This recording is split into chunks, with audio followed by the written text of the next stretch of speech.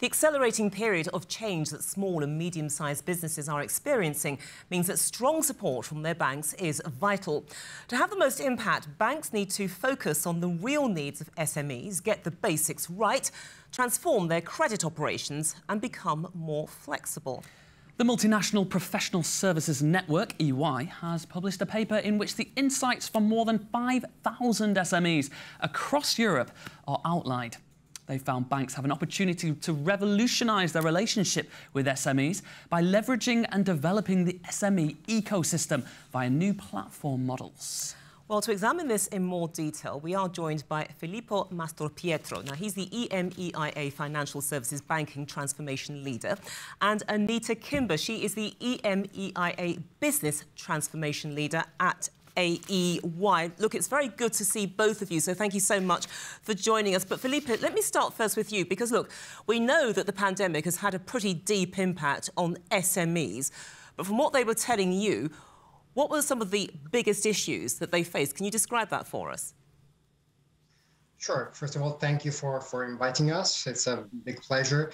Yes, our survey is telling us that basically 75% of SMEs globally have been impacted negatively by the pandemic. And of course, this percentage can change across geographies.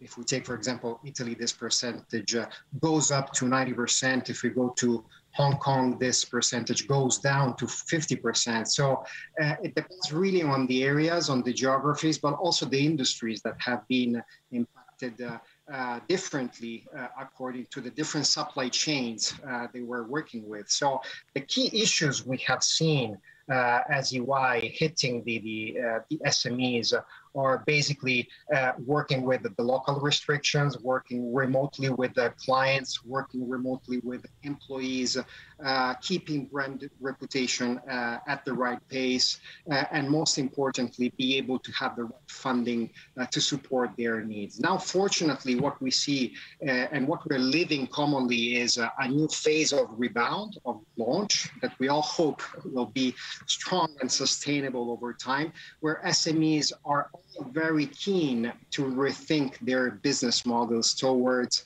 of course, e-commerce, online marketplaces, franchising distribution, and subscription-based offerings, all business models that are uh, able to support SMEs to play actively in this new market context. Anita, the impact has been significant, but there has been some help on hand. Many governments have offered support to SMEs during the pandemic. How important has that been? Look, it's been a lifeline. It, it's incredible to, to think, you know, who could have imagined that half of SMEs globally would be getting some sort of help from government. So it's been it's been absolutely vital. But it's not just governments. SMEs have looked to banks, to financial institutions. A third of them have looked to banks, financial institutions. A third of them have borrowed from friends and family. So they've, they've really accessed a range of support. But but I think it's the whole thing has highlighted a few points here.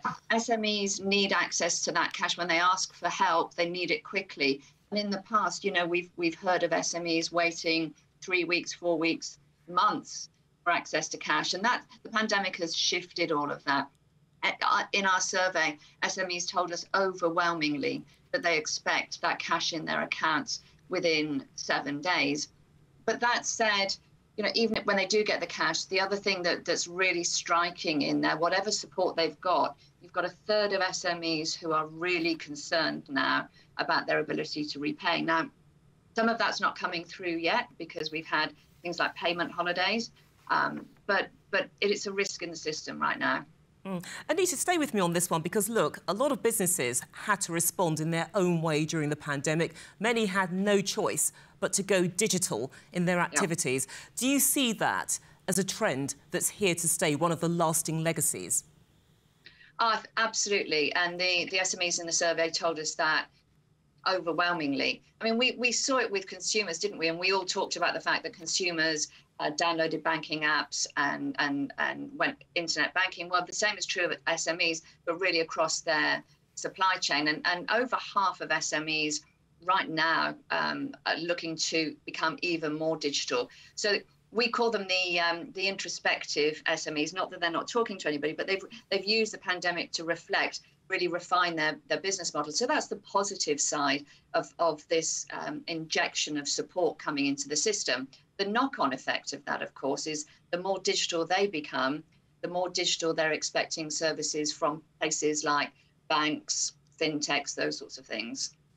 Filippo, uh, we, we talk about knock-on effects. Uh, do you believe SMEs' attitudes towards their banks have changed at all, have shifted at all during the pandemic? And are banks still considered the most trusted financial partner for them? Well, banks are definitely considered as crucial partners for, for SMEs, especially for funding purpose. And our survey is telling us that 73% of SMEs globally uh, declare they're working even with more than one financial institution, so more than one bank. What we see, what we observe is the evolving needs uh, of this particular client segment. SMEs are more and more looking outside a trusted advisor, so a partner that can really support on a continuous basis uh, along uh, the business duties of the SMEs. And here, banks, of course, with relationship managers, with branches, can really play this business partner role that SMEs are looking for.